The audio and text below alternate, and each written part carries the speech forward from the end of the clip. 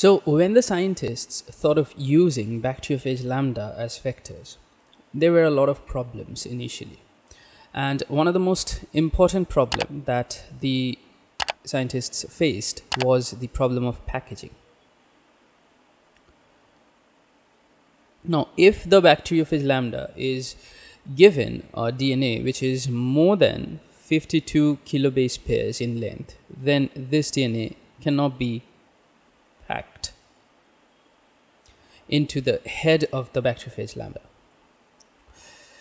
Now, to resolve this problem, what the scientists did, they cut short the bacteriophage lambda DNA. How did they did that? They removed some non essential genes.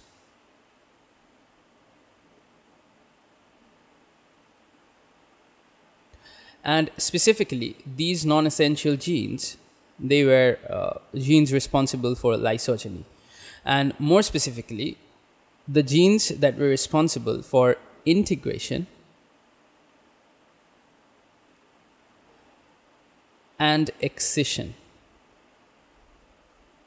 So the integration and excision genes that were required for the bacteriophage lambda to integrate into the bacterial genome and excise out of the bacterial genome, those were removed. Now, this um, solved the problem to some extent.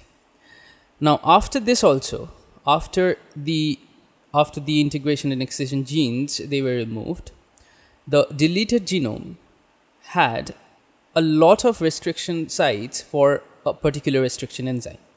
There is multiple sites for a single restriction endonuclease. So the second problem was multiple sites for a single restriction endonuclease. Now, this problem was dealt with using a technique which is called in vitro mutagenesis. Now, in vitro mutagenesis, let me explain a little bit. Let's say you have a bacteriophage lambda genome with five restriction endonucleoside for EcoR1 five sites. Now you infect a lawn of E. coli cells with this uh, lambda phage and let's say this is inside the head. This is inside the head. So you infect this lambda phage that is having five restriction sites for EcoR1 and you uh, grow bacteria as a lawn and these bacteria has to have uh, the functional EcoR1 right? Now it can be possible that during the growth these sites these EcoR1 sites they can mutate. I mean the sequence can mutate. And some of the sites may be lost and some of the sites may not be recognized by the EcoR1 enzyme that is present in the bacteria, that is secreted by the bacteria. So, if you see, let's say, if you see a plaque, so this is the whole bacterial lawn, and in it, when you when you grow the when you infect it with the phage, you see a plaque, a clearing. Now you take out the plaque and there is a possibility that because of uh, natural processing, natural selection, and spontaneity, these five EcoR1 sites may be reduced to three. Now, the bacteriophage that you have recovered, they're having three EcoR1 sites. Now, again, you take this and you infect a lot of bacteria that might reduce i mean it is a possibility that it might reduce the sites to 1 so this is all depending upon chance. It might happen, it might not happen, right?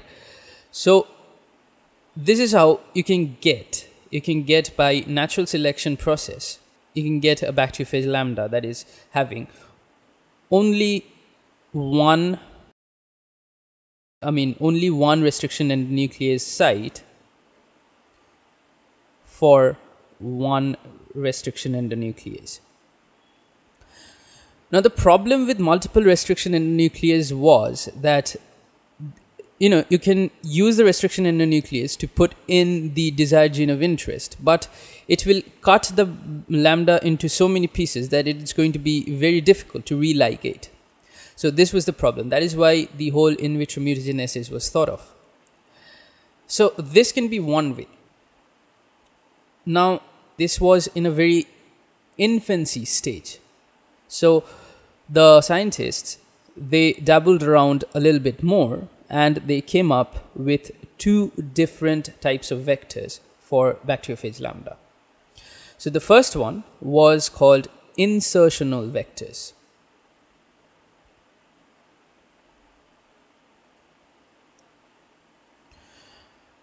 Now, insertional vectors are bacteriophage lambdas that have been modified and they possess only one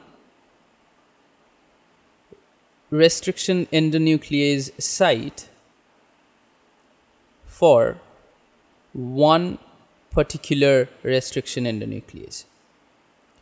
So this restriction endonuclease site, it is unique. So let's say this is the um, this is the genome. This is the genome of the uh, bacteriophage lambda, and over here you have the restriction endonuclease site. This is the restriction endonuclease site.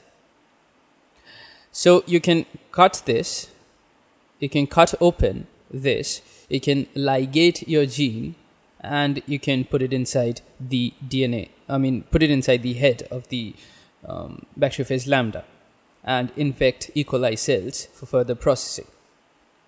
Okay, so one example of this insertional vector was lambda GT10. So lambda GT10, it can carry up to 8 kilobase pair of new DNA. New DNA, I mean, apart from the lambda DNA, you can insert up to 8 kilobase pair into the vector and you can put it uh, you can put it inside the head of the lambda phage and it has this lambda gt it has one unique EcoR1 site inside the C1 gene. This C1 gene, this is responsible for the lysogeny, for the induction of the lysogeny. So the C1 gene, basically, if this is the C1 gene, let's say this is the C1 gene, then the EcoR1 site is somewhere in between the C1 gene. This is the C1. EcoR1 site is somewhere in between. So you open up the C1 gene and you put your DNA of interest inside it. And hence, the C1 gene becomes non functional. non functional. And because the C1 gene becomes non functional, there won't be any turbid plaques. Turbid plaques absent because every time when you do this, the C1 gene would be non functional and the bacteriophage lambda would always go into lytic phase. That is why there won't be any turbid plaques. Instead, there, there will be all clear plaques.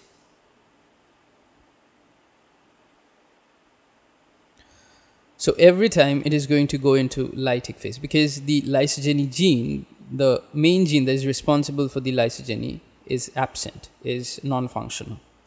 So this was the insertional vector where you are inserting your DNA of interest when uh, you're cutting open the uh, cutting open a part of the lambda lambda genome and you're inserting your DNA of interest. So the other type, the other type was the replacement vector. Replacement or substitution vector.